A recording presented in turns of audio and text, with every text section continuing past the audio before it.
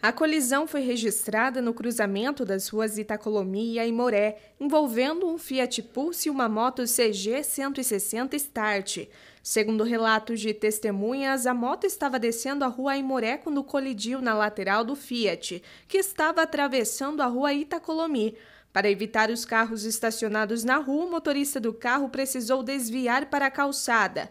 A polícia militar compareceu ao local do acidente para realizar o levantamento de informações sobre a colisão. O condutor da moto, um homem, foi socorrido pelo CIAT do Corpo de Bombeiros e encaminhado à UPA de Pato Branco.